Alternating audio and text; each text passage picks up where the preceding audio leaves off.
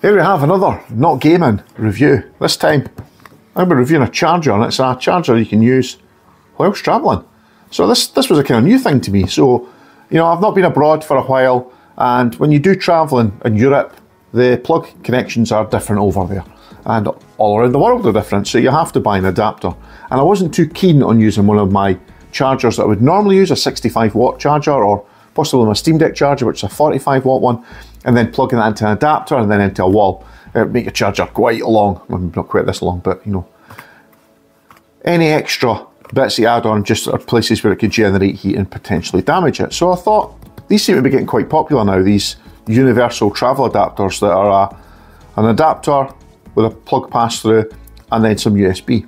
So this is the second one I've ordered. I ordered a much cheaper one, one that cost about £16. My partner's going to use that, only charges up to 20 watts, and it feels very lightweight.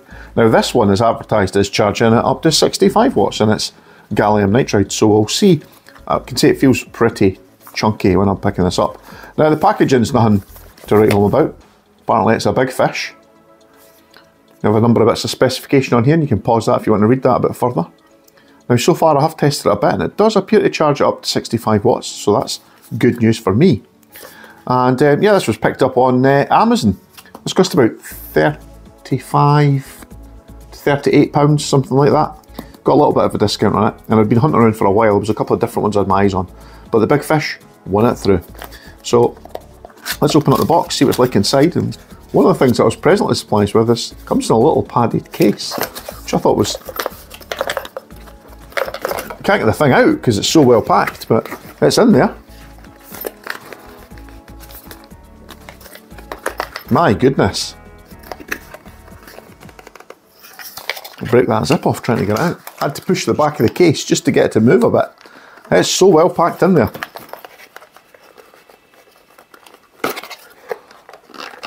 No extra packing materials, just a little case, which actually looks pretty good. Certainly would protect it. And here's the charger, and as we know, these little shapes make things work more, more powerfully. More gamery, isn't it? And apparently it's a big fish.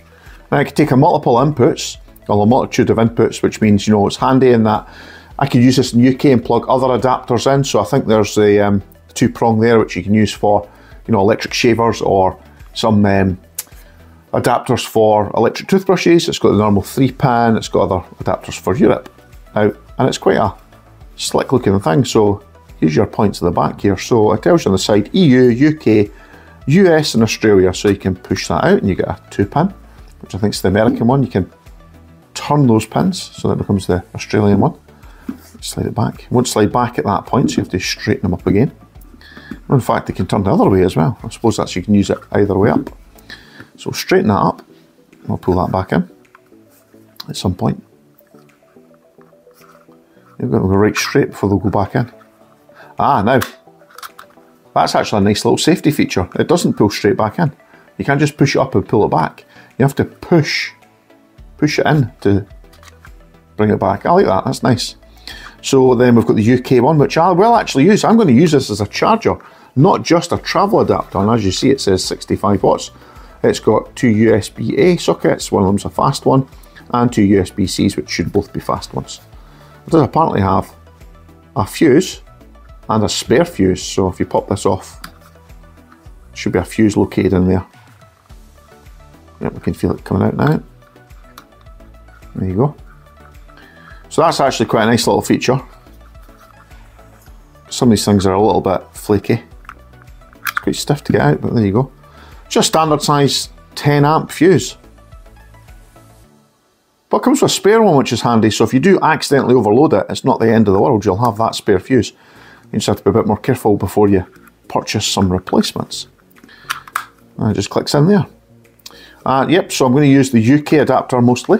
So again, that doesn't pull back, that's good. So these aren't going to accidentally push in a bit and potentially cause issues.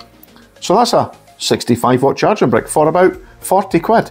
So actually that's pretty good as it comes. But better than that, I can now use it in Europe because it has a European adapter. So it should hopefully be 110 volt capable as well as 240 like the UK and well in the US. It says here a maximum 10 amps, which is a maximum of 2500 watts, which is 2.5 kilowatts. Uh, anywhere from 100 to 250 volts. It's AC EAC, which is the adapter point here. It doesn't convert voltage, so you know if you're going abroad and your your product you're taking with you, certainly if you're from the UK, runs at 240 volts, and you go away to Europe and you plug it into 110, it's either not going to work or it's you know if it's a hairdryer, for example, it'll run at half speed. That's not really my what I'm interested in. It's for indoor use only and do not use with appliances requiring a ground wire. Now, I'm curious why it says that because it has actually got, oh, because it's just a, a blanking ground. So yeah, but that would be for pass through. For USB-C and USB-A, this is going to come in extremely handy for me. So I'm planning on taking two, maybe three products. My son will be taking a couple of products. We'll be sharing this one charger when we're away.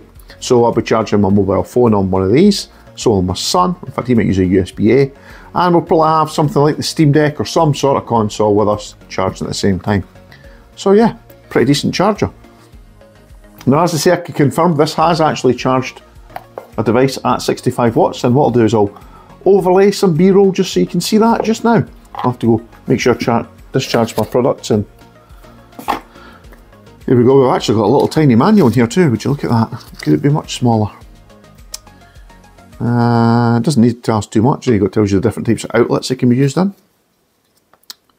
which is great tells you about two-pole earth, unearthed devices. So that's things like, you know, you've got to be careful for laptops and things like that. Take electric fans, electric shavers, typical USB devices. All it looks like very much like a PSP in that icon. But um, yep, how to use the adapter? Well, I've gone through most of the use, use cases there and where it's compatible with. How to replace the fuse? I showed you that as well. Oh, wow, I wasn't aware of the US, the UK plug being used in so many countries. But there we have it. I tell you what, this, this adapter would have been so handy for me a few years ago, but it didn't really exist a few years ago. But I am so handy. That's all I have to take. Packed away in this nice little padded case. So I don't have to worry about the pins coming out or getting pushed or a button on the side broken. Take this on holiday, that's all I'm going to need. That and a couple of cables and the devices themselves. Doesn't get much more pocketable than that. And I am planning to try and travel as light as possible this year. So I'll give you some feedback as I use this out in the field. Thanks for watching and I'll catch you in the next video. Bye for now.